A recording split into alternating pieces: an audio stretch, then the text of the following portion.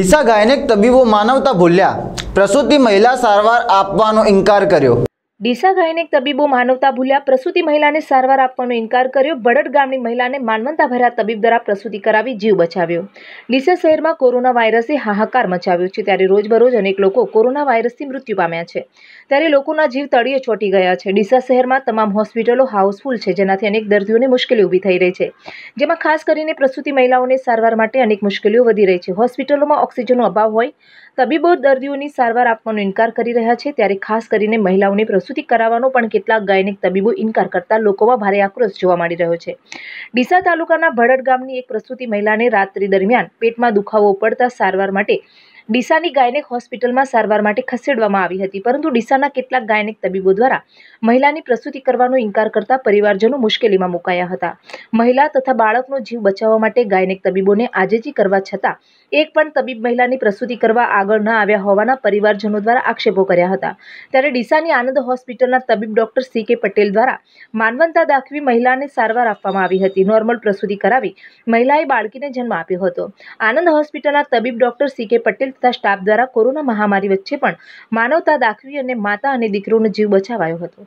ત્યારે મહિલાના પરિવારજનો દ્વારા આનંદ હોસ્પિટલના તબીબ ડોક્ટર સી કે પટેલ તથા સ્ટાફનો દિલથી આભાર વ્યક્ત કરી ડોક્ટરને ભગવાનનો દરજ્જો આપ્યો હતો.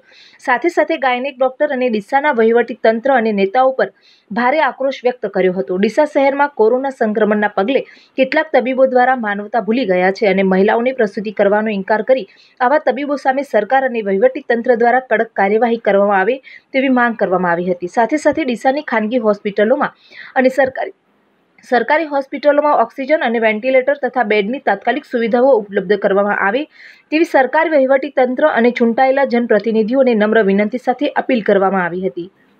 વાયરસની સામે લડવા માટે આપણે બધાએ કટિબદ્ધ થવું પડશે.